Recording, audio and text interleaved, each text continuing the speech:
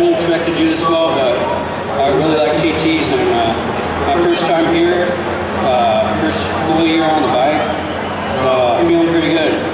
Roll trip out here from California at the Honda Working Wall. What was the key to success?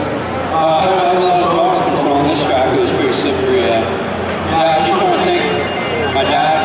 He's going to be here for us, for. He works on all my bikes. Uh, tunes racing